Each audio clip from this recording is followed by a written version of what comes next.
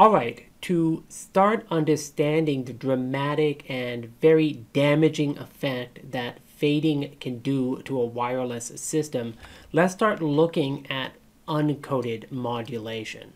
So as the name um, describes, uncoded modulation is just modulation without any channel coding. That means you're just transmitting raw complex symbols and demodulating or detecting them one at a time. Now, what I'm going to show you here is that uncoded modulation over a fading channel like this works really badly. It basically completely fails. So there is virtually no practical system that would ever transmit over a wireless channel without coding.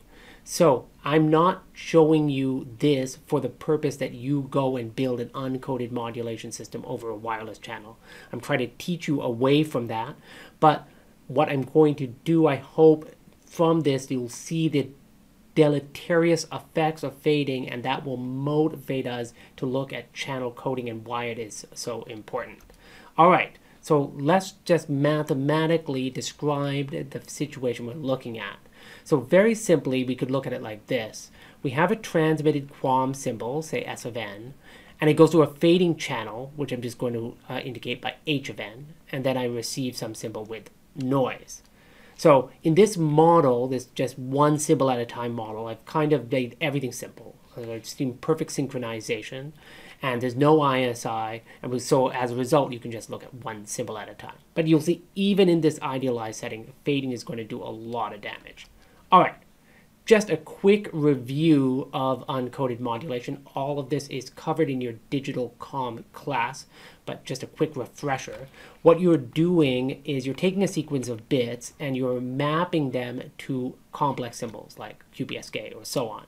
And you take some number of bits per symbol. But the key terms that describe uncoded modulation are the modulation rate, which is the number of bits per symbol. So in this case, it's 2, like QPSK.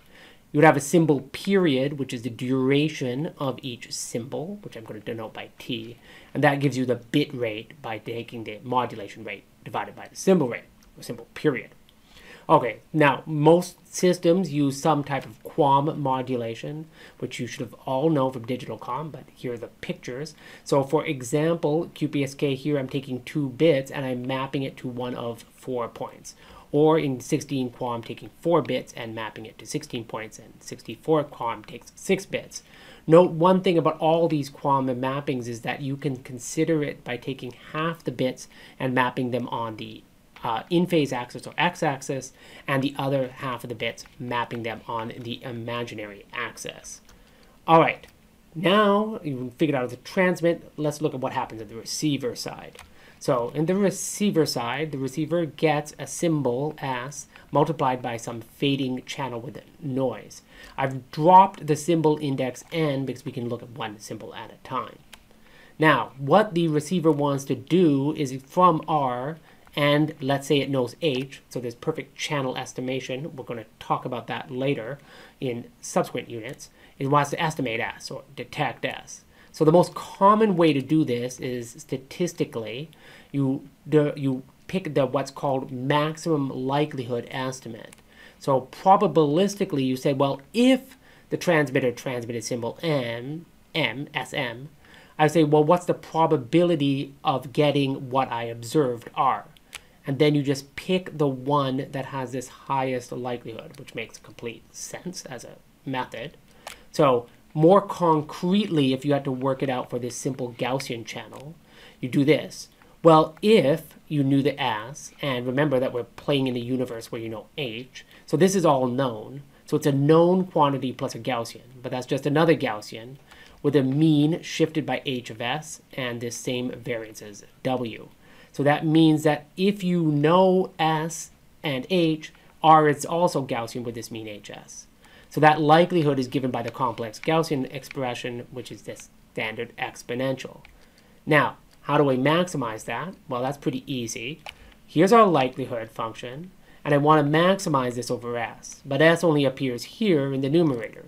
So if I want to maximize this, I want to minimize that numerator, and because there's a minus sign here, So I want to pick the minimum of r minus h squared.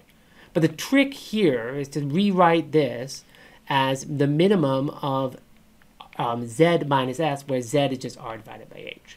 And you can just get this by pulling that h out and remembering that the minimum of something is the same as the minimum of h times something. So we just have this. Now, what does that mean? Well, all I do is kind of two steps. I take my receive symbol and I take my known channel gain, which I'm assuming I know perfectly, and just divide it. And that is called equalization because I'm equaling out the effect of that channel. And that gives me this equalize symbol Z. And then I simply pick the QAM symbol that was closest to Z. So if this is sounds unfamiliar to you, go back and review it in Digital Com and just zooming through it quickly here. So that was a lot of math. It's super easy to understand just visually. So all I do is I take my equalized symbol, Z, which is remember just the receive symbol divided by the channel gain, and I have my, let's say, 4 or 16 or 64 possible QAM points, and I simply pick the one that's closest. So for example, if I got this equalized symbol here, I would say, oh, I transmitted S1, and then whatever bits corresponded to S1, that is what I would detect. Pretty easy. But, of course, it can go wrong. And how is it going wrong? Well, let's say I have Z, all right? I this uh, sorry, I transmitted a symbol SM, and I will get some noise, and so I will uh, hit some Z here. Now this symbol will be error uh, correct. I will correctly decode it wherever the this final point is still the closest to SM, or what's called the decision region for SM in this particular case, as long as this Z lands in this quadrant, the top left quadrant, um, it the closest symbol will be this uh, transmitted symbol here, SM, and it won't make an error. On the other hand, if I got a big enough noise in the wrong direction, like here, I start with SM and the noise is sufficiently large, it pushes you out of the correct decision region. In this case, then the closest symbol becomes here, and then I would have made an error. So this is how we can compute the error. Now, talking about computing errors, there's a couple of different uh, ways you can talk about it for uncoded modulation. You can talk about the symbol error, which is just that the error I get, um, the average number of errors I would get in detecting the symbols, or the bit error rate, which would be the average number of errors I get per bit. So even if you have a symbol error, some of the bits might be correct. All right, and we're just going to just probabilistically assume that all these symbols are transmitted equally. So let's look at the symbol error rate, just quick review on an AWGN channel. So in this case here, um, we have a symbol as S plus a V, where there's no fading. And then if you review in your digital com class, you get that the symbol error rate is given by an expression which depends on the SNR, and what's called a Q function. Remember, the Q function is just a complementary CDF of a Gaussian. All right, and the important point here is that the SNR goes up, as you would expect, the symbol error rate goes down. And you can also get all these expressions for bit error rates and so on. Just to show you some of the expressions um, you can get, this uh, graph, which I stole from the web, computes the symbol error rate for all sorts of QAM constellations, like QPSK, 16 QAM, and so on. And you get the trend in all of them that they have this kind of exponential-like decay with the SNR. Of course, the higher order modulations need more SNR. That's not uh, surprising because you're transmitting more bits. You can get all the expressions for this um, from, for example, Proakis's book. I'm not going to go over them but you have, I just want to show you here the uh, fact that they decay quickly. Remember, this is on a log scale here. All right, if you want to actually simulate it yourself, MATLAB has great tools. You can literally get one of these curves in a few lines. So I just, what I do is I just um, construct a set of vectors that I want to uh, test the SNR. In this case, I wanted to go from minus 5 to 11 dB. And then for each SNR, I can create a AWGN channel object and literally just tell it the SNR that I want. and then I take my transmitted symbols, I run it through that channel, and then I do, they have a built-in function for detecting called QAM and then that gives me the estimated bits, and then I can compute the bit error rate and graph it. So just a few lines of code, MATLAB makes this super, super easy. All right, now we have looked at bit error rate for an uncoded modulation. It doesn't look too bad. Watch what happens when you have fading. All right, so in fading, we have our H, and this is some uh, variation in the channel, perhaps, for example, due to multipath interference. And I go ahead and do the same thing because we know what's optimal to do. I go ahead and equalize it. And now when I equalize this, I divide the transmitted signal by S, but I also divide the noise by S. So I kind of get a H, sorry. I get an effective noise, which is W divided by H. Now let's look at the SNR. The effective noise energy will be scaled by the original noise energy by H squared. So I get the effective noise energies and not divided by h squared. So when h is big, that noise energy goes down. Great. But when it's small, it's going to go up. And so when I take the SNR, I get that uh, number on the bottom, and I get my expression here, h squared es over n0. So if we have a fading channel, which is going up and down, when that um, fading, when the h is high, that means I'm getting, for example, constructive interference. My SNR is going up. But when it goes down, for example, when I'm getting destructive interferences in those deep fades, the SNR is going down, and this is going to hurt our performance. All right, let's take a look to understand that damage in performance. Let's take a look at the average SNR, SER, the simple rate, on a fading channel. You could also compute the average bit error rate. You're going to get the same basic uh, qualitative phenomena. So here's our fading channel. It has its H. And we know that when fading is random, it's like an unfaded channel with this random SNR, which is scaling with h squared.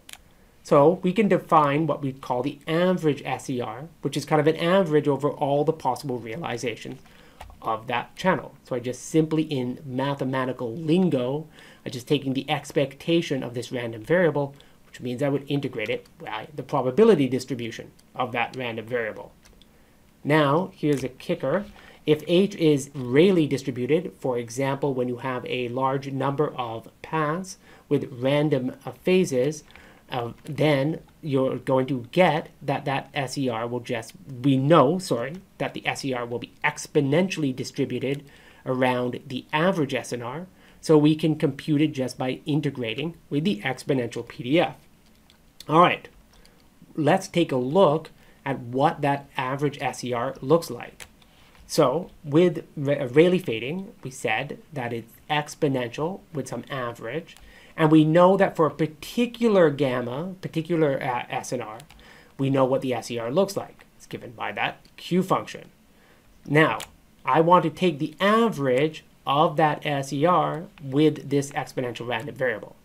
For this, I will need a little lemma, which is in the notes of how to compute show, but I'm just, just trust me for now, just some algebra, that if I want to take the expectation of a Q function with an exponentially random variable, it has this formula here where this is correct for large gamma. Then, plugging that in, taking the expectation, I get this. I won't go through all the math, but here is the uh, key point that the average SNR still decays with the average SNR, but it decays very slowly. You can see here that it decays as 1 over gamma bar. Gamma bar is the average SNR. But in AWGN channel, it decayed exponentially. So it'll go down, but it'll go down much slower. If you don't believe me, let's take a look at a plot. So on this graph here, there are four lines. Just look at two of them for now. The blue line is our AWGN symbol error rate, and it decays exponentially. But look at what happens to fading, which is the red line. It decays, but it decays much, much slower. The other two lines are just um, mathematical approximations for this. We can uh, you can get very good approximations if you don't want to uh, work it out exactly. But I just want to show you here how bad that fading is Let's take a look at a 10%, uh, sorry, a 1% error rate. That is not particularly rel uh, reliable communication. Imagine you were trying to transmit 100 uh, bits of even short packet. If they, each one of these were independently faded with a 1% error rate on each bit, then you would have almost uh, certainty, not almost certainty, but with a high probability your packet will be an error. So you would actually need much lower error rate. But even at 10, 1% error rate, look at this. On an unfaded channel, you need maybe 5 or 6 dB of EBNO to get at 1% error rate. But look at what you need for at faded channel, 17, maybe 18 dB. And if you're talking about 10 to the minus 3 error rate, well, it goes even off the screen here. It's really, really bad. So the conclusion is that fading on an AWGN, fading, sorry, really damages uncoded modulated symbols. Now, in the demo, I show you how to actually do those curves, for example, for a 16 QAM, so check that out. I'm not going to, uh, pretty straightforward MATLAB code because uh, the COM toolbox has all the things you need to do to do it. And um, before we go on, I just want you to go ahead and try to compute a theoretical curve to match this, just so you get an idea about what the mathematical relations are between faded and unfaded systems. But the big lesson I want you to take away from this quick section is that when you have fading, uncoded communication systems perform really badly. But don't give up because we stick around for coding and we'll see that can get you out of that situation at least some of the time.